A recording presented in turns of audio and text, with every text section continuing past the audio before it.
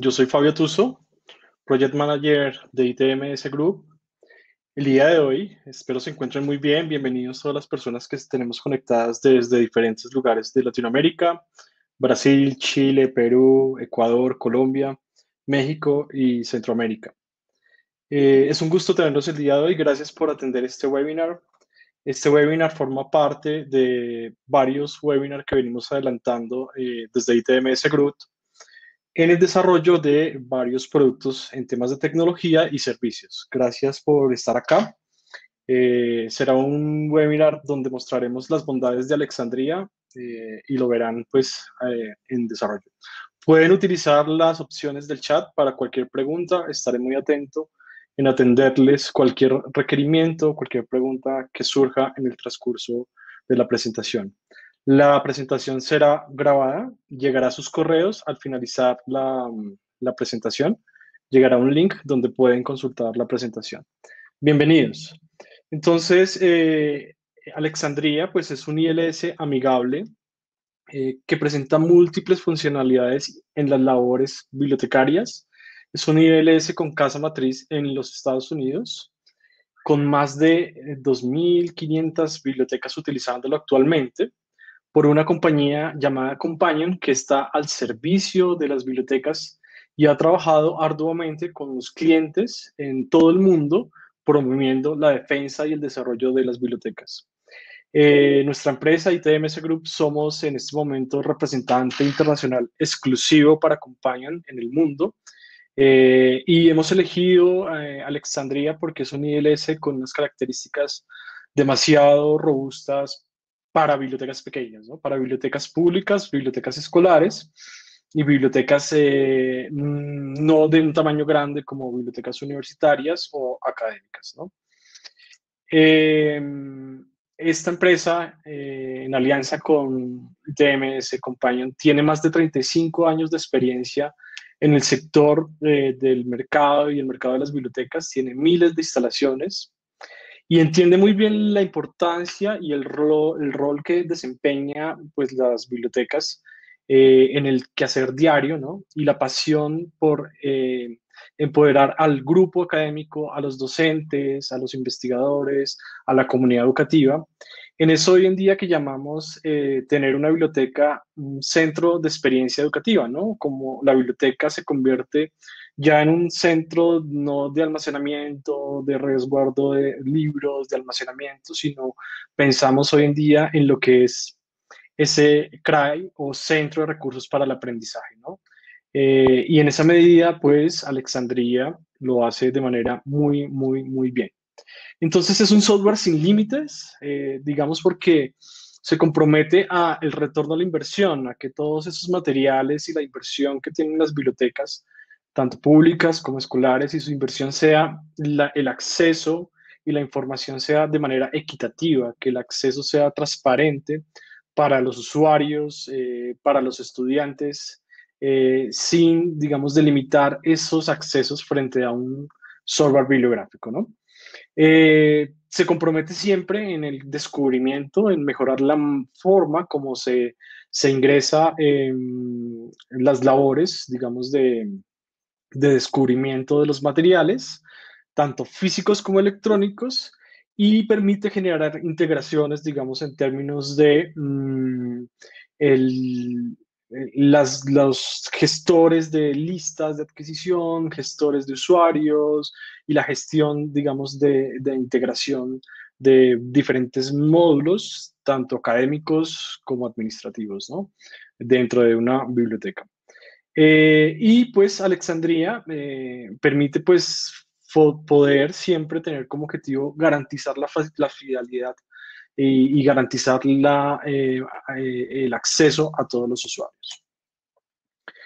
es un software que está basado en la nube, es un software que significa que no requiere ningún tipo de instalación en ninguna máquina o dispositivo. Se puede em, em, acceder de manera responsive y se adapta a cualquier mm, interfaz que tenga conexión a Internet. Estamos hablando de un teléfono, de un computador, de una tablet, eh, que tenga acceso a una URL. ¿no? Su interfaz pues, vincula o involucra a estudiantes de todas las edades, es decir, que el software está pensado tanto para niños de primera eh, infancia como a los de eh, medio grado y los grados altos, digamos, de, de, acceso, y dispone a través de cualquier conexión a Internet. ¿no? Eh, el acceso siempre es totalmente 100%, no hay descarga de aplicaciones para ninguna gestión del software bibliográfico. Eh, cumple con altos estándares de accesibilidad, ya van a ver un poco la parte visual de la herramienta, es un software demasiado mm, eh, visualmente y gráfico muy amigable, pensado en esos componentes. Su diseño está pensado para cualquier dispositivo, entonces se adapta a una tableta, se adapta a un computador y recupera absolutamente todos los alumnos eh, dentro de la misma herramienta y no tiene una licencia eh, de usuarios, sino que es una licencia ilimitada para acceder a la herramienta. Estos son conceptos muy importantes, digamos, dentro del desarrollo de la, del software, ¿no? Eh, el otro tema es el compromiso y el descubrimiento de los materiales y para eso se presenta mm, un, un, OPAC, un catálogo muy pensado hacia los niños y hacia los pequeños, como también hay una parte, algo que se llama King OPAC, OPAC o catálogo para niños, un explorador y un buscador que permite ¿sí? Eh, eh, que las personas puedan recuperar y puedan los chicos acceder de manera muy friendly, amistosa hacia la plataforma.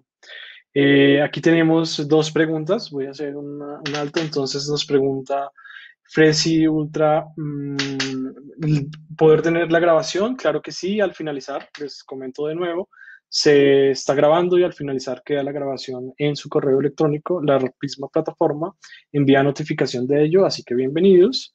Y eh, Jorge Alberto Ortiz dice, ¿otra persona puede ingresar? Claro que sí, solo envíale el link y puede estar acá mm, para que pueda ingresar con todo gusto. Em, podríamos copiar el link acá en el, en el chat para las personas que quieren unirse y que de pronto están en este momento eh, dispuestos para unirse. Ahí les pegamos el link de acceso. Perfecto, solo lo copian y pueden compartirlo por redes sociales eh, o por cualquier eh, medio para poder ingresar. Es fácil poner el usuario y, y el correo, ¿no? Muy bien, entonces tenemos aquí este concepto del descubrimiento y las interfaces de búsqueda pensada para todas las, las, las edades, ¿no? Entonces está el, catálogo, que es el catálogo eh, general de búsqueda para todos, un catálogo especializado para niños, un buscador especializado para niños y un explorador. Estas vistas que ustedes van a ver en este momento realmente son sorprendentes porque permiten eh, que los usuarios puedan eh, ingresar de este tipo de maneras. Fíjense el tipo de despliegue, por ejemplo, el software presenta algo que llamamos hoy en día en las bibliotecas, es la búsqueda visual. Entonces permite hacer búsquedas por temáticas, por categorías, como también por presentaciones. Entonces, con simplemente dar clic en cualquiera de estos botones, los eh, estudiantes, usuarios de la biblioteca, pueden acceder a los contenidos. Esta es una, la búsqueda principal de la herramienta. Al final vamos a explorar estos, eh, estos, em, estos eh, mecanismos y opciones que nos presenta eh, la herramienta. Y tenemos acá esta navegación, por ejemplo, del más reciente. Entonces es posible armar listas de, de stock de libros, como si fuera eh, una biblioteca digital o virtual, donde se puede tener allí, eh, por ejemplo, listas por cursos, listas por de interés o temáticas que los docentes o los niños estudiantes quieran conformar. Estos listados se pueden conformar de manera privada, es decir, yo como profesor puedo tener mi lista privada para mí, como también la puedo compartir con mis estudiantes, el cual es un concepto muy agradable porque los estudiantes por medio de ese link y por medio de esa lista podrían ingresar a este tipo de selección de materiales. ¿no? Tenemos este otro que es una vista em, relacionada con em, la búsqueda de novedades, entonces es posible seleccionar novedades y, por ejemplo, poner esta pantalla que va circulando, va pasando con listas eh, dentro del colegio o se podría, por ejemplo, poner materiales eh, para muestra, ¿no? Si estamos trabajando ferias de ciencia, si estamos trabajando novedades dentro de la eh, biblioteca mm, encaminadas a la promoción de nuevos recursos, son opciones muy mm, amigables para ello, ¿no? Tenemos aquí también este otro tipo de búsqueda, el cual em, está la búsqueda por materias visual, entonces es posible hacer estas categorías, por ejemplo, la selección de materiales de eh, terror, de naturaleza, de ciencia, y que esas categorías se sigan ampliando a la medida que em, los, eh, los chicos ingresan ¿no? hacia estas temáticas. Eh, tenemos aquí también el acceso a eh, la cuenta del de, eh, usuario, al acceso hacia los estudiantes, donde eh, puede ver su estado de cuenta, es posible conocer sus listas, los materiales que se han devuelto, y como ustedes ven, la herramienta es demasiado visual para poder, digamos, organizar, digamos, acceder a este tipo de recursos. Pero Verónica nos pregunta, ¿cómo se clasifica y arma la colección de libros? Muy bien, Verónica. En la parte interna, al finalizar que entremos al software, vamos a ver esas categorías y allí es posible modificar cada opción que estamos viendo de manera visual. Es muy interesante porque se pueden hacer ese tipo de listados, se pueden hacer ese tipo de búsquedas, ya lo, van, a, lo van a ver. Muy bien. Eh, tenemos esta otra búsqueda, fíjense, para niños un poco más pequeños, una búsqueda muy bonita donde presenta em, la información general y el chico solamente pondría las temáticas y presenta otro tipo de resultados mucho más llamativos para los pequeños, ¿no? Eh, esta es otra opción. Por ejemplo, este esto es una URL que se podría poner en el sistema académico del colegio o en el sistema académico eh, de la institución donde el chico accedería a este de acuerdo al nivel o rango que tenga en el colegio, o también poder embeber esto en micrositios dentro de la página de la institución, ¿no? Eh, poner la parte tanto visual como de las temáticas de trabajo, como también este tipo de búsquedas para que eh, podamos distinguir así las bondades de lo que implica el software bibliográfico. Eh, ¿Es posible ingresar con biblioteca web? Sí, Juan Carlos, Juan Manuel, ya vas a ver.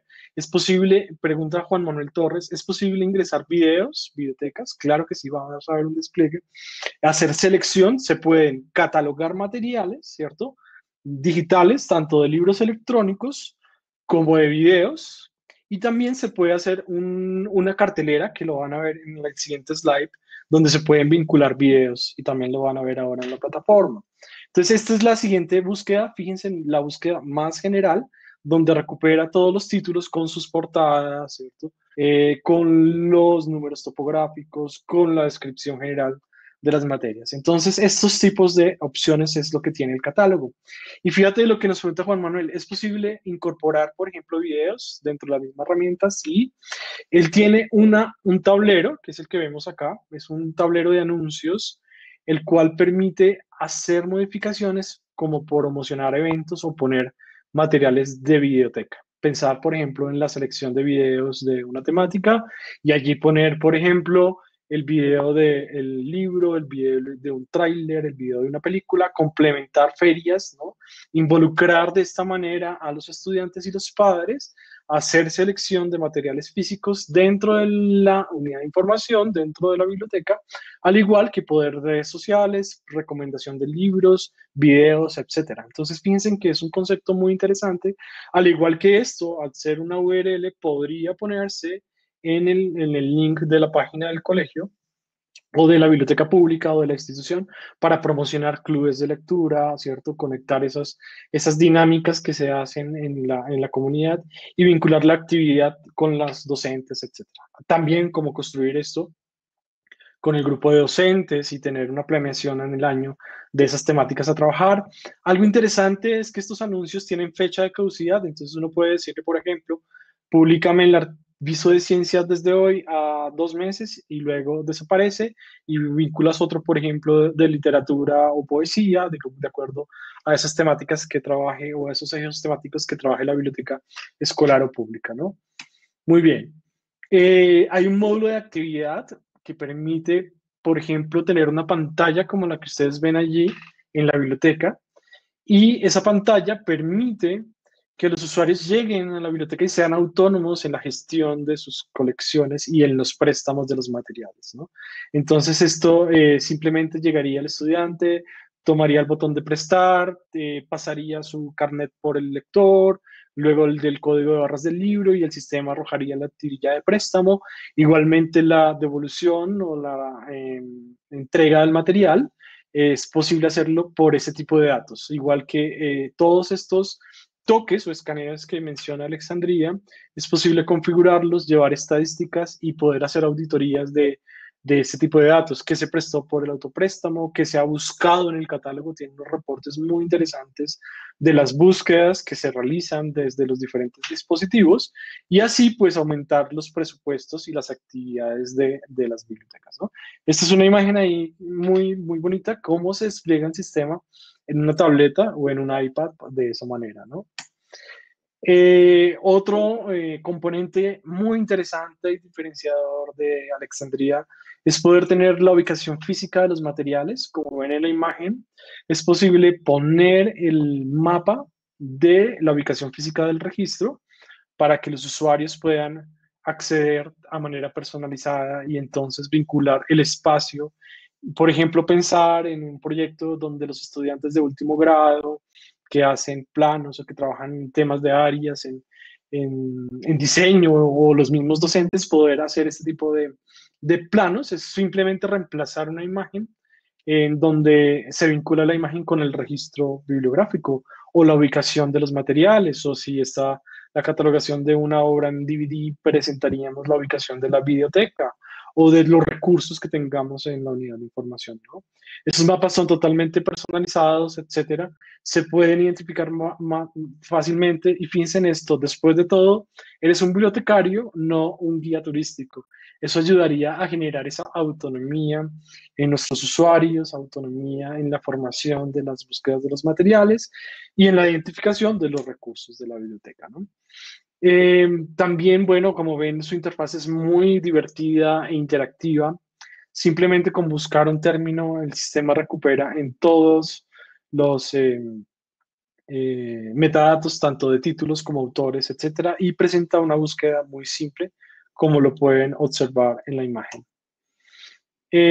Alexandria puede clasificar colecciones por género, también se puede hacer, como vieron, por edades, por niveles de lectura, por listas de forma mm, clara y sencilla, rápida y sencilla. Todo el soporte, 24-7 horas de la semana, tiene un centro de soporte, eh, nosotros desde ITM, este grupo, todo el soporte para América Latina, eh, todo el centro de mensajes por medio de correos electrónicos, hay lanzamientos y actualizaciones mensuales y mejoras de la plataforma y hay seminarios web también como un canal de YouTube donde hay múltiples videos y dentro de la misma plataforma también hay múltiple información. Y aquí también lo que queremos invitarlos es que se está conformando el paquete bundle, donde tenemos todo un paquete digital eh, y Alexandria forma parte de este paquete digital que hablaremos en la próxima sesión. Eh, este paquete digital tiene todo el tema del ILS Alexandria, un tema de Gumdrop, que es un tema de temas de libros electrónicos, eh, el componente de Bestmark, que es un componente de normalizador de metadatos para la normalización de los datos bibliográficos de la entidad, y Goldring for Learning, que es todo el tema de gestión, es un módulo de gestión académica y gestión de usuarios dentro de un sistema académico. Este será nuestro siguiente webinar, así que eh, los invitamos desde ya a que se interesen para conocer este paquete que está muy llamativo, demasiado bueno para lo que eh, requiere una biblioteca hoy en día, tener todas estas posibilidades de integración y todo un paquete completo con libros electrónicos en inglés, en múltiples idiomas, al igual que el ILS Alexandria. Será nuestro siguiente webinar que los invitamos desde ya a eso. Vamos a ver en este momento el demo de Alexandria en vivo para que si surgen algunas preguntas vamos a recorrerlo rápidamente y em, que vean todas las bondades de, em, relacionadas con el, el, ILS Alexandria. Tenemos aquí pues la información de, de nuestro equipo de ventas en, desde Colombia, nuestra eh, Angie, Natasha en Chile, Fabio Tuso en Colombia y Mónica desde Chile con todo el apoyo local eh, como tal desde la compañía. No sé si tengan alguna pregunta hasta el momento. Vamos a explorar la herramienta. Estoy pendiente si tienen alguna pregunta. En el chat. Ok, muy bien. Eh, no hay preguntas. Voy a compartirles el link en el chat. Mm, claro que sí, pregunta Ana. ¿Puedes enviar el enlace de las páginas para explorar? Claro que sí. Este es el link eh, del demo y la contraseña para poder ingresar es demo, demo, demo. ¿Listo? El usuario y la contraseña es demo, demo. Eh, lo voy a explorar en este momento para que vean todas las opciones, Ana y todos los participantes. Una vez eh, esto pueden ingresar y poder conocer todas las opciones, ¿no? listo. Muy bien, Ángela María, todo muy bien. Juan Manuel Torres, tengo una implementación local de Alexandria, versión 2009. ¿Es posible exportar la base de datos de libros? Claro que sí, Juan Manuel. Estamos tendiendo a que todos nuestros usuarios en este momento y renovaciones sean en la nube, porque es mucho más económico, mucho más centralizado, mucho más eh, fácil para todos y los servidores están ubicados en los Estados Unidos, donde eh, hay acceso 100%, 100%, ¿no? En el acceso local sabemos las complicaciones ¿no? del equipo de tecnología, de la red eléctrica, del servidor, entonces ahí es importante pues validar este acceso vía la nube, lo que, permite, eh, lo que permite ese acceso en tiempo real. Y Juan Manuel, la migración es súper sencilla, solamente necesitamos ingresar al servidor local, tomar la data, se envía a los Estados Unidos al equipo de Alexandria y en el transcurso de dos, tres semanas ya está todo, todo eh, en, la, en, la, nube con tus datos, eh, con tus materiales, libros, usuarios, toda la data que queda incorporada. Es un proceso muy simple, no hay que hacer grandes exportaciones, solo copiar la carpeta del servidor, enviamos en un FTP a la compañía y ellos se encargan de hacer este, este tema. Perfecto, Juan Manuel. Muy bien, entonces, eh, fíjense, Aquí está la suscripción, Angie. Muy bien, envía la suscripción para, del webinar para el bundle el 8 de julio para que se puedan inscribir y conocer todo el paquete relacionado con los libros electrónicos, Bestmart y eh, las integraciones, ¿no? Muy bien. Pregunta María José. Muy bien. ¿El respaldo de los registros solo queda en la nube? Eh, ¿Puedes hacer respaldo en tu PC? Sí, María José. Hay una opción de exportar los datos y sincronizar eso en tu computador o también sincronizarlo en Google Drive o si lo quieres en un servidor de tu colegio, ese respaldo se puede hacer. Aunque Alexandria en los servidores en la nube mantiene 100% em, el respaldo, 100% de la base de datos completamente, pero tú puedes hacerlo también. Perfecto, muy bien, damos continuidad. Entonces, tienen el link del acceso al demo. Fíjense, vamos a explorarlo rápidamente. Eh, en estos 15 minutos finales. Tenemos en primer lugar el, el, el Explorer, el catálogo. Como ustedes ven, toda esta información es posible, se podrá totalmente en español, donde podemos tener los links a los objetos digitales, vincular bases de datos, ¿no? O información general, o esas búsquedas por recursos, por eh, eh, colegio, eh, media, mediana edad, etc.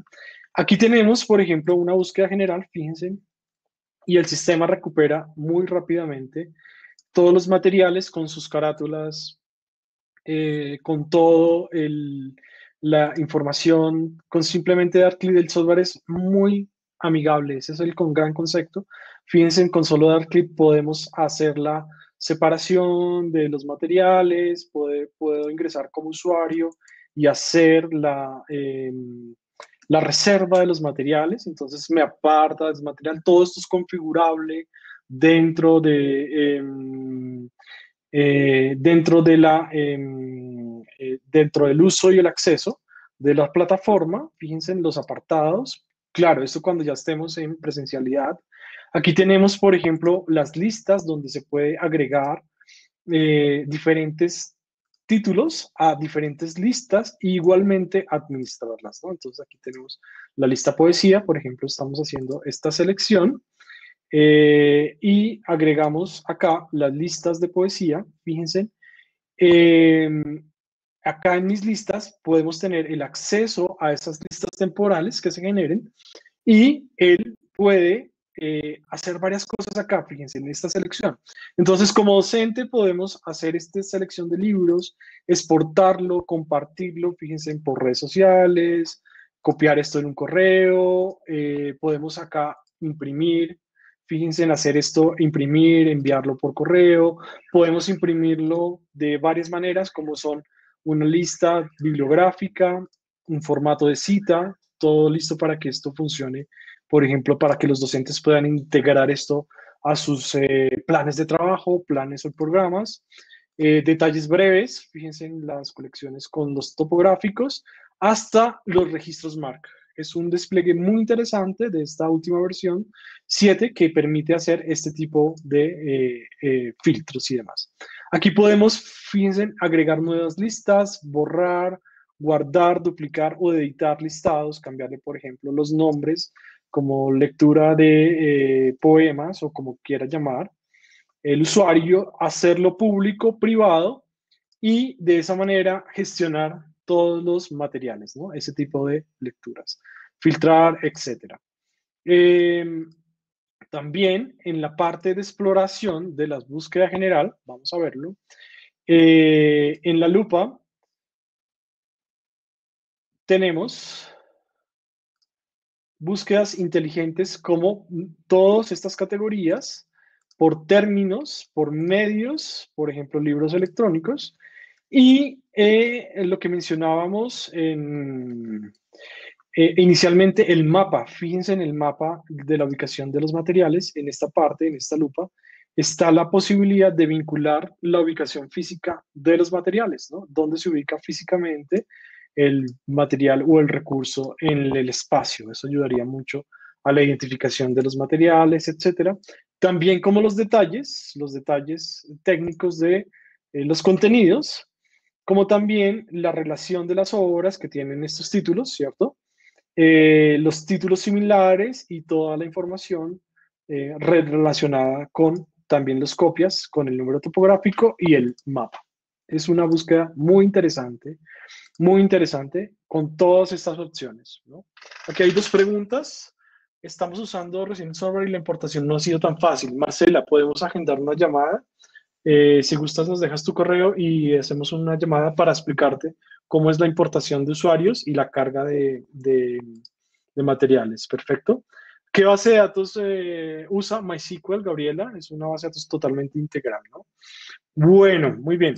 Aquí fíjense este tipo de eh, búsqueda, entonces uno podría poner este tipo de recuperación de la información de, catálogo en, eh, en el link para ya los niños más pequeños. Entonces, él presenta los mismos resultados, pero si ustedes se dan cuenta, mucho más visual, ¿no?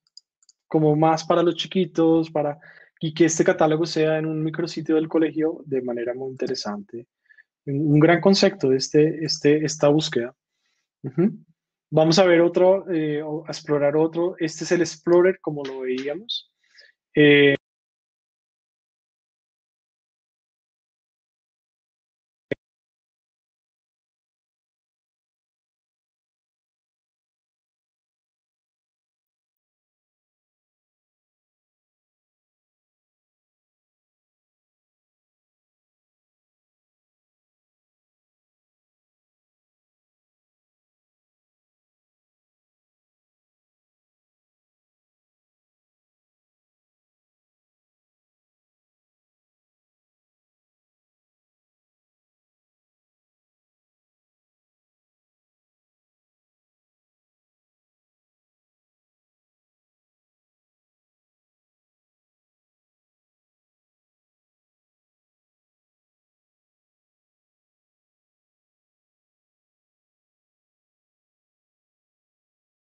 ¿Me escuchan?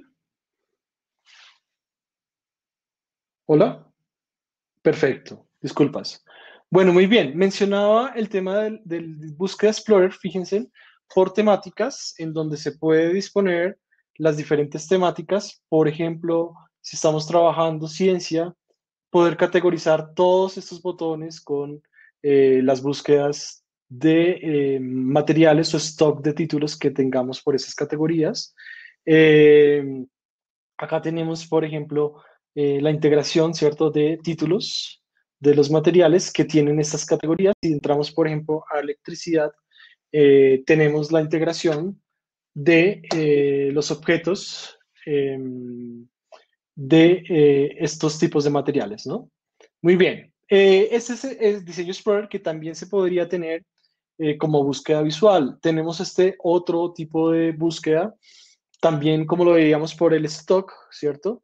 Eh, donde están, fíjense, los materiales, donde se puede vincular la navegación, acá por géneros, por programas de estudio, donde podríamos tener las lecturas guiadas y absolutamente toda la información general por ese tipo de categorías, ¿no?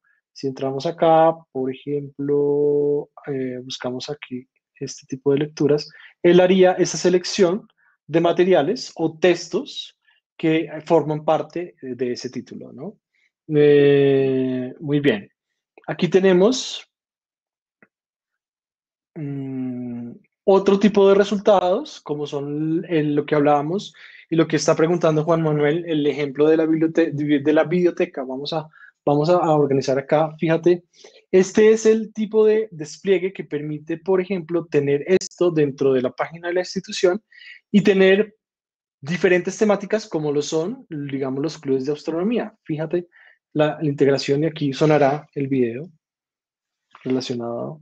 ¿sí? Esto se puede, por ejemplo, poner categorías de videos, integrar YouTube, integrar eh, diferentes gestores de videos donde, si ustedes se fijan, este es el Club de Ciencia y Astronomía y se pueden elaborar diferentes temáticas, diferentes eh, links a libros, también como links a Twitter o links a eh, materiales, ¿no? Digamos, si le damos clic en estos tipos de materiales, nos llevaría a la relación de diferentes temáticas. Es un concepto muy, muy interesante de poder tener allí eh, este tipo de recursos, ¿no? Aquí, por ejemplo, fíjense, este tipo de despliegues y podría formar parte de la página de la institución.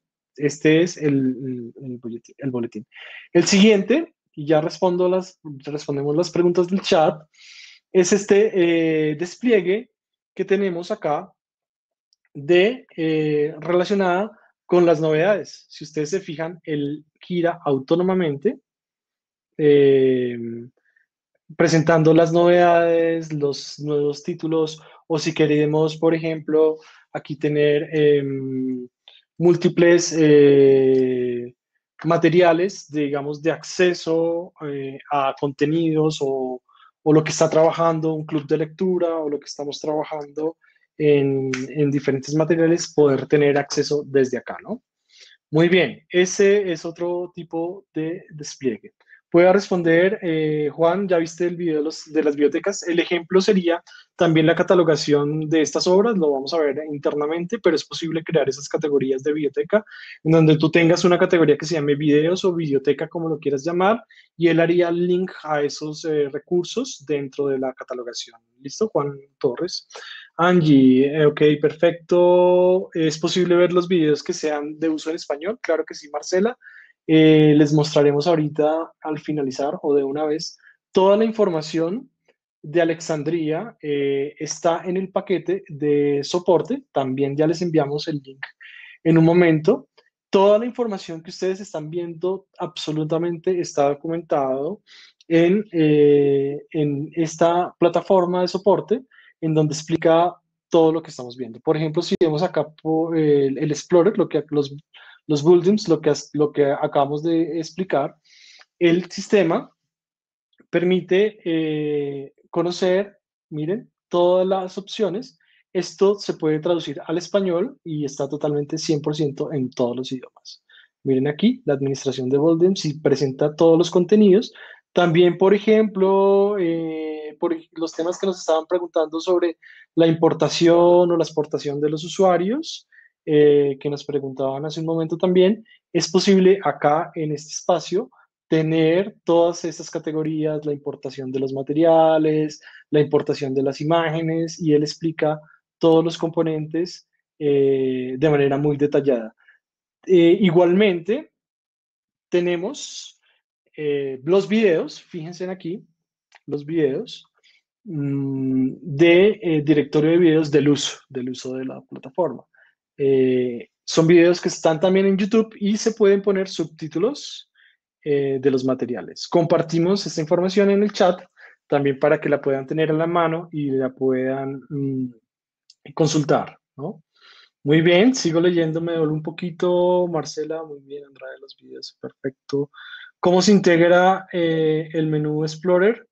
Ya lo veremos en la parte interna. Eh, perfecto, listo. Muchas gracias al equipo por, el apoyo y el soporte. Bien, vamos a volver entonces acá a la parte eh, principal de Alexandria. Vamos, vamos bien de tiempo.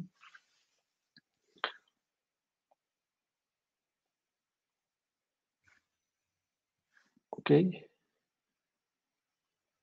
Pareciera que de nuevo mi conexión.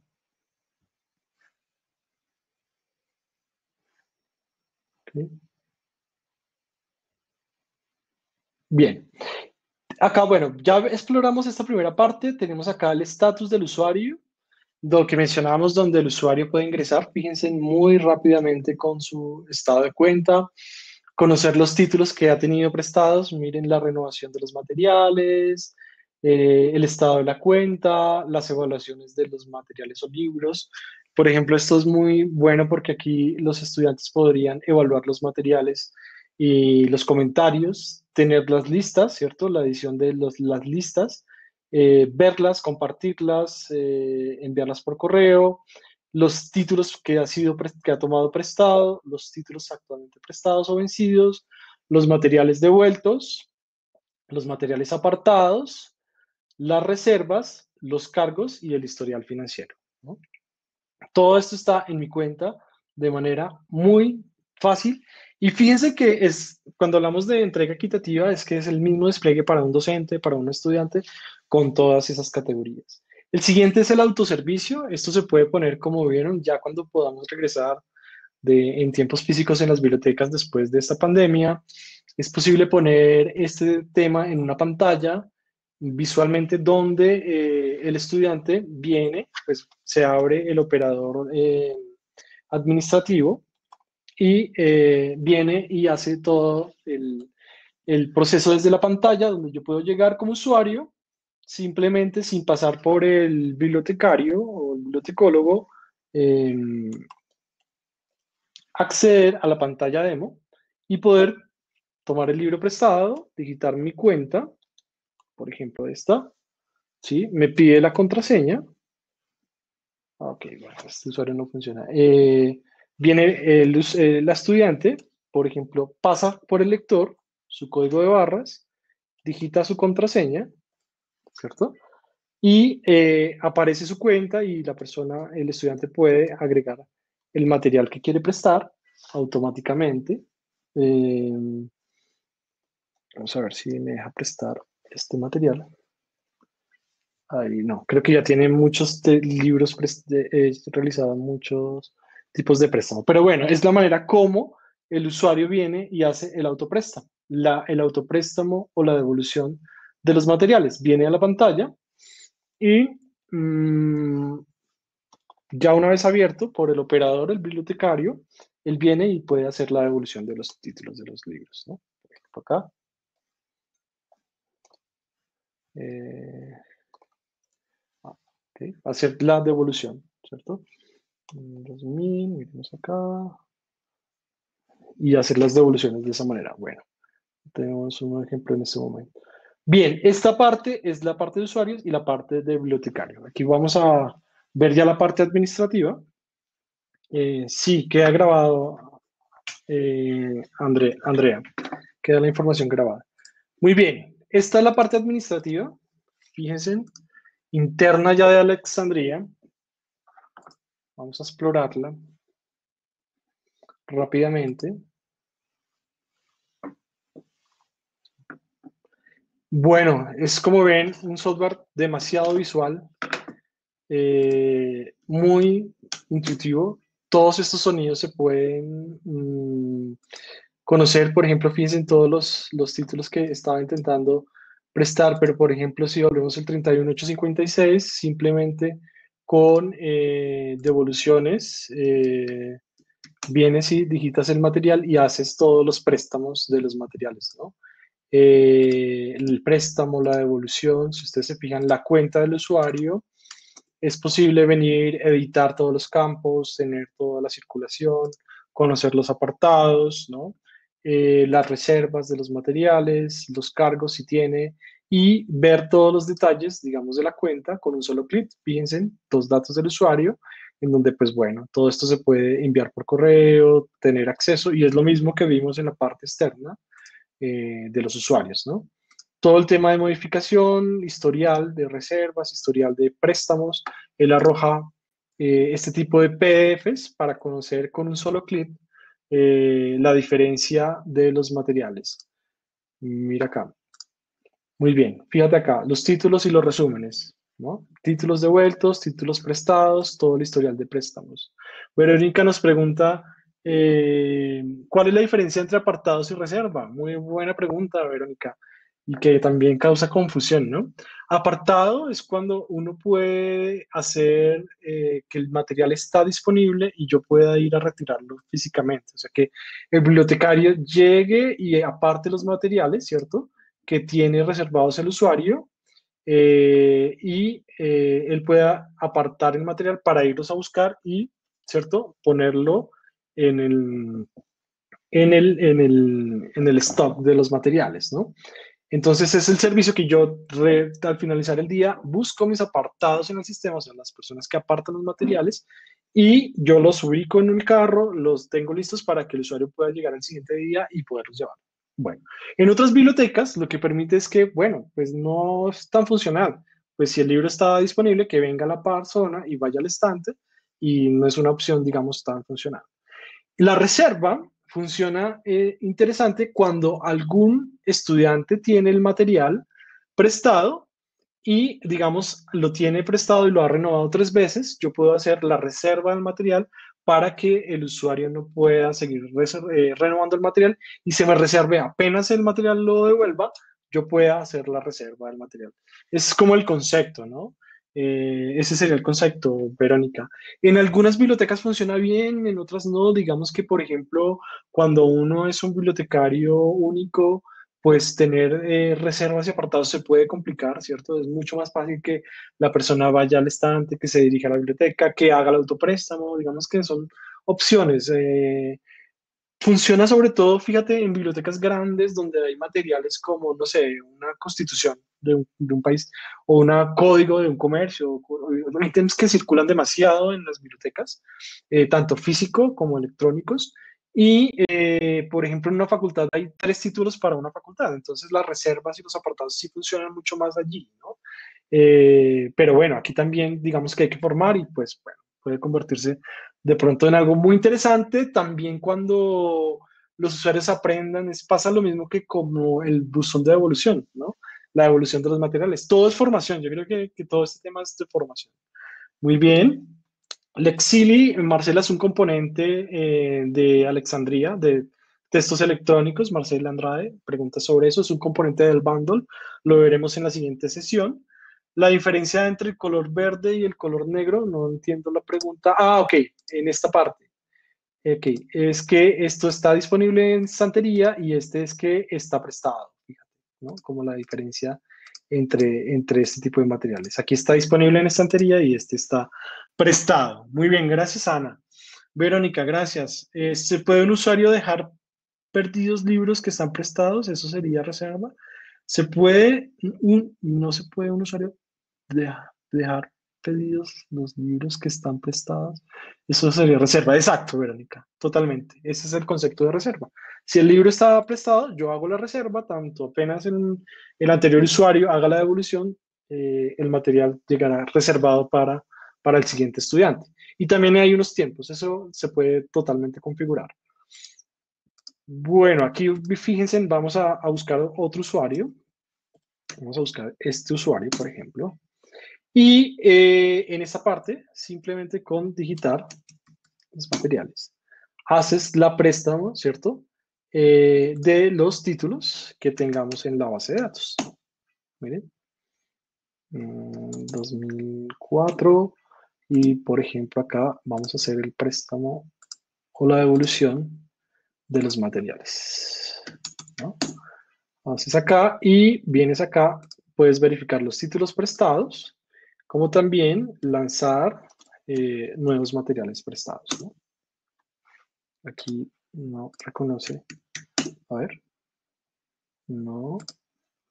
No tenemos materiales prestados en este momento. Bueno, esto es una base de datos de muestra, ¿no?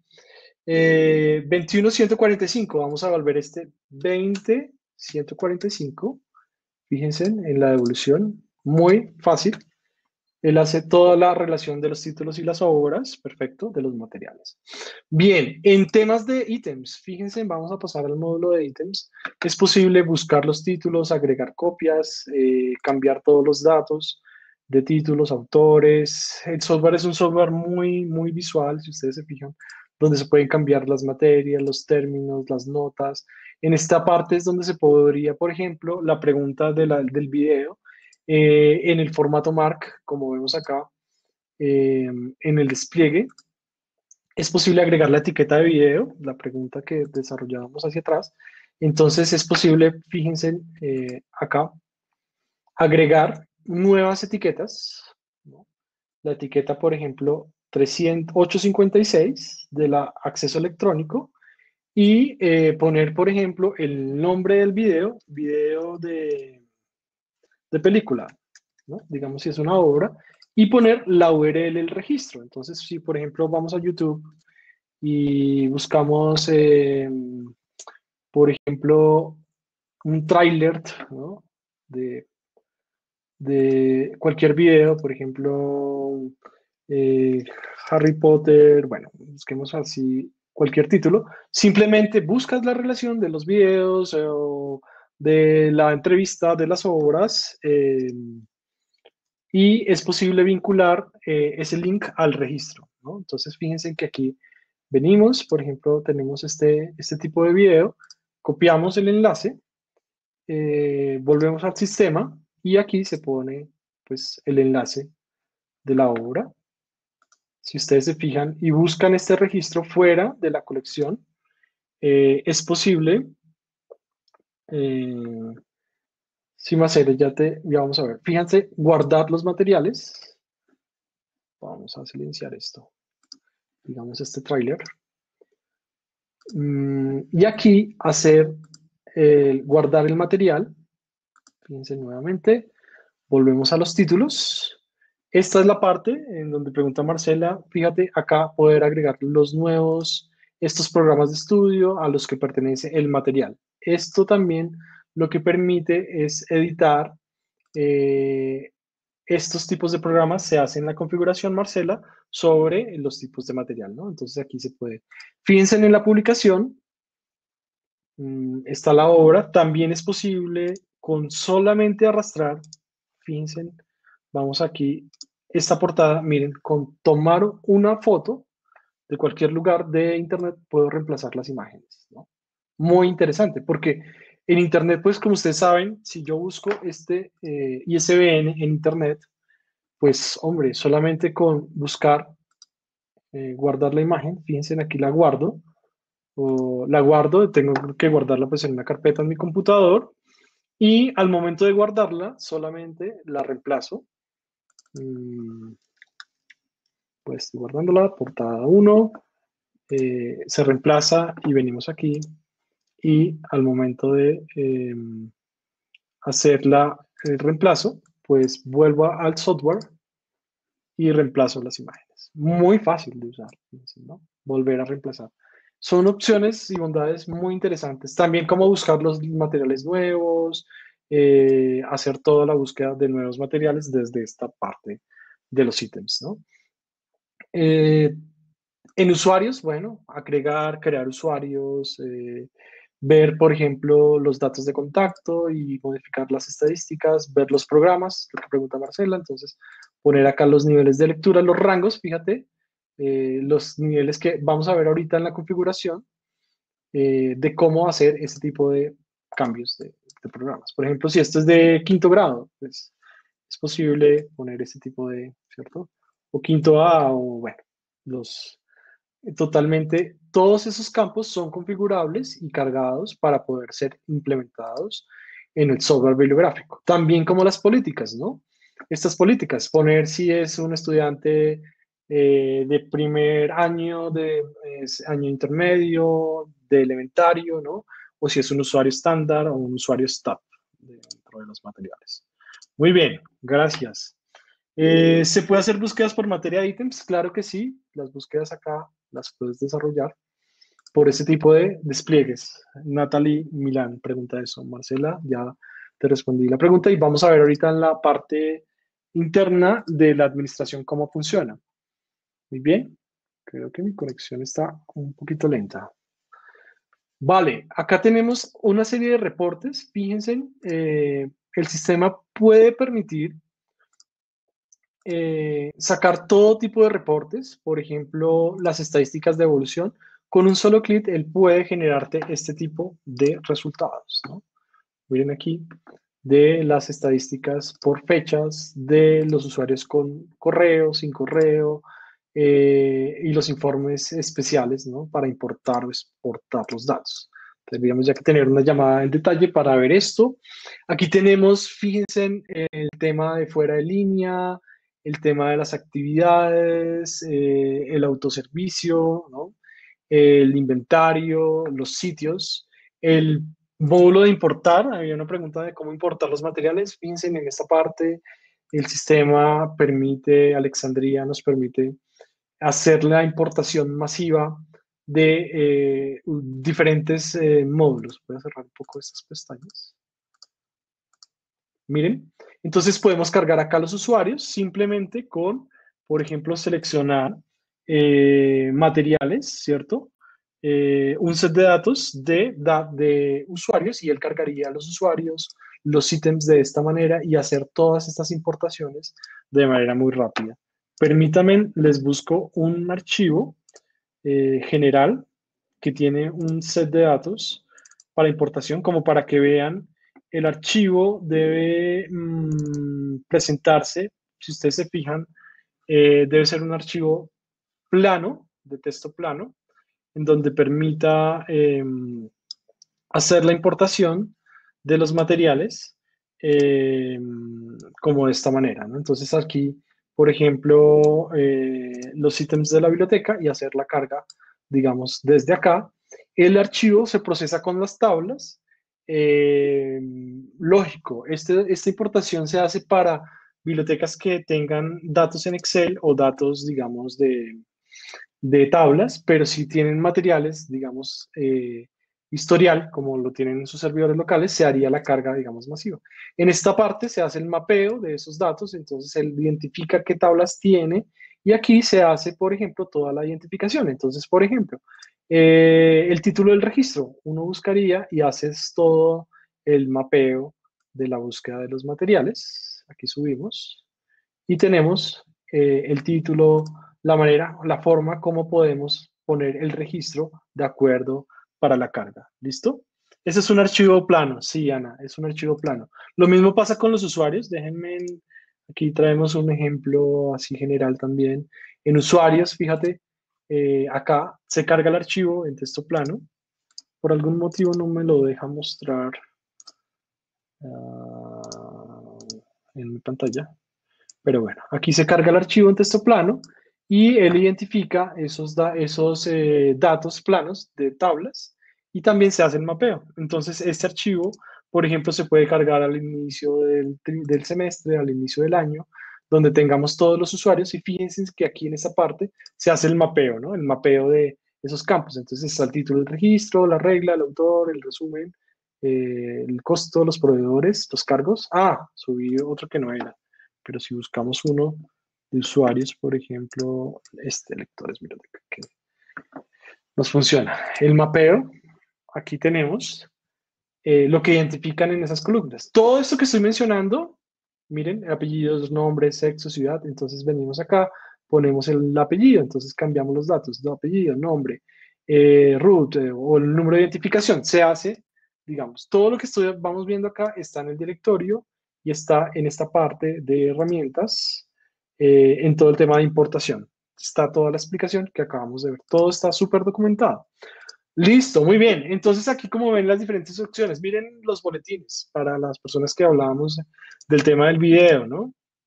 Eh, es un archivo de plano en Excel, Ciana. Se sube un archivo plano en Excel, que lo puedes exportar de tu sistema académico para ser cargado en Alexandria, ¿no? Recuerden nuestro club de ciencia y astronomía, miren, aquí podemos cambiar la información completamente visual. Entonces yo puedo decirle, cámbiame este club de ciencia, eh, club de ciencia y la Tierra, por ejemplo. ¿no? Eh, muéstremelo, fíjense en los años, ponerle notas. Hola, este es el espacio del club de tal cosa. Eh, guardar y él inmediatamente, si volvemos a la parte externa, donde está acá el Explorer, ah, perdón, el buildings, esto es una función extremadamente muy bonita, muy, muy interesante. Fíjense acá, perfecto, Ana. Volvemos a esta parte y si vamos a nuestro menú, eh, miren acá, ya nos cambia. Club de Ciencia de la Tierra. Uy, muy bien, aquí tenemos los datos. Miren, los datos. totalmente modificables, ¿no? Eh, se pueden entrar, modificar, cambiar. Eh, agregar eh, por medio de todas estas herramientas, los buildings. Las mapas también, el diseño Explorer, si ustedes se acuerdan, en la parte que vimos inicial del diseño Explorer. Aquí podemos venir, mm, tener filtros. Entonces, si ustedes recuerdan, cuando entrábamos a, um, historia, pues si entramos a historia, miren, él nos puede traer todos los datos, ¿sí? y cambiar todos estos datos también. Si entramos, cambiamos este de animales, vamos a ver. Este animales, cambiamos a español, animales de la, animales, anima, animales, eh, animales, guardar. Y podemos cambiar, fíjense, por ejemplo, este de dinosaurios, lo vamos a ver, y cambiar la acción. Dinosaurios. Muy visual, muy bonito. ¿eh? Aquí tenemos ya la parte externa. Vamos al diseño Explorer y podemos tener acá ese cambio. Miren aquí, animales. Creo que no lo tomó, no, no lo guardó. Bueno, diseño Explorer, guardar, copiar de panel. Animales. Debe haber hecho el cambio de una vez. Bien. Animales. Animals. Dinosaurios. Este sí lo tomó. Algún cambio no leí. Y aquí nos quedan los dinosaurios. Fíjate. Y hacer esa construcción de esas temáticas por medio de este diseño Explorer. También los mapas. Creo que ya vamos terminando. Los mapas. Em, miren acá, entonces cambiar el mapa del colegio y poder tomar con solo reemplazar, aquí tomo otra imagen cualquiera y reemplazo y hago eh, los ajustes a los que haya lugar, ¿no? Entonces, venimos, se buscan las imágenes. Aquí tengo una imagen cualquiera, una portada. Simplemente vienes y reemplazas, deshaces, cambias, puedes cambiar las categorías, los nombres y llevar esto, duplicar o eliminar o agregar nuevos. Por ejemplo, si tenemos acá la, video, la biblioteca, DVD, DVD, a DVD, y aquí poner los nombres y igualmente arrastrar las imágenes totalmente acá, Muy, muy, muy bonito, muy visual, muy autónoma, ¿no? Em, muy bien. Eh, las evaluaciones, entonces también conocer las evaluaciones de los materiales. Y eh, en el catálogo, en esa parte de preferencias, tenemos toda la información relacionada con em, los usuarios, por ejemplo, el calendario, las políticas, ¿no? Tan bonito, por ejemplo, cambiar los sonidos, ¿no? Que no tenga yo que depender de un informático para venir a cambiar. Miren, los sonidos de prestar. Ah, bueno, quiero que suene diferente. O cuando el usuario vaya allá y suene un saxofón, entonces, un bongo, ¿no? Muy, muy, muy, muy, muy bonito. ¿eh? Interesante. Es como un juego. Eh, sorprende Alexandria con todas estas opciones.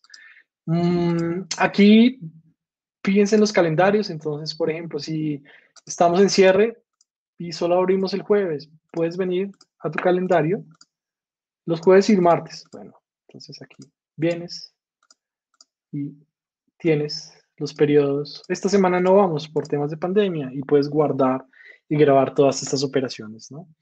Em, está disponible en todos los idiomas. Las políticas es donde tú puedes venir a hacer los cambios, las políticas de usuarios, aquí es donde se puede poner, fíjate la tabla, lo que me preguntabas, eh, Marcela, el entonces cambiar los grados ¿no? en esta parte, eh, hacer este tipo de configuraciones, poner las imágenes de los usuarios, poner los códigos de barra, como también las políticas de los ítems, de los préstamos, de esta manera, la correspondencia, la catalogación, toda la información. ¿no? Aquí es donde podemos poner los materiales de poner otra categoría, entonces poner videos, lo que la pregunta de videos, biblioteca, grabaciones de video y ahí seleccionar esas categorías para que el sistema agrupe los videos de esa manera tan visual. Eh, los datos de circulación, entonces también aquí las cartas, configuración de correos automáticos, los apartados, las reglas de circulación, todo es muy, muy visual como lo ven. ¿no? Eh, y en políticas, si vemos, están las políticas de préstamo, entonces, ¿qué pasa con un usuario de Elemental? ¿Cuántos títulos se pueden llevar? Tú puedes venir acá y cambiar cambiar autónomamente, también como los atrasos y las políticas de atraso, ¿no? Bueno, eh, como ven, pues es un vistazo muy general a Alexandria. Eh, podemos tener llamadas. Eh, ah, bueno, voy a responder otras preguntas. A ver, ¿podemos hacer la búsqueda por materia? ¿Todos los ítems por materia determinada? Claro que sí, Natalie. Fíjate en la parte acá, Natalie Millán, del catálogo general, que vemos aquí, eh, es posible, si tú te das cuenta, en esta lupa, mm, a ver, tengo muchas cosas abiertas. En esta parte, mira, podemos hacer la búsqueda por programas de estudio que veíamos en la configuración. El medio, poner acá los libros electrónicos, los videos y poner acá los términos genéricos, ¿no? Pero también es posible buscar acá por las materias. Entonces, si buscamos acá eh, animals, animals, nuevamente, fíjense, él buscaría por las temáticas de los materiales que tengan estos tipos de búsquedas. ¿no? Esta es tu respuesta, Natalie. Muy bien. Natalie Millán, muy bien. Perfecto. Perfecto, Natalie, gracias. Si el calendario se cierra, la biblioteca pueden apartar los libros. Sí, Ana, es posible. Se puede, si se cierra, ellos pueden apartar.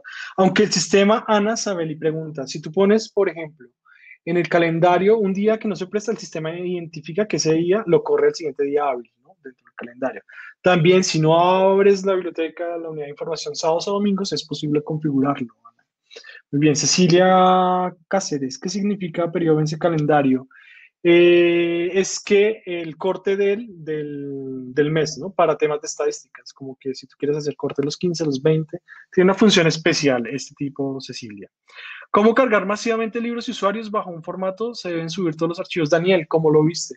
En esta parte de importación, vamos a ver acá, regresamos al, demo. Vamos cerrando.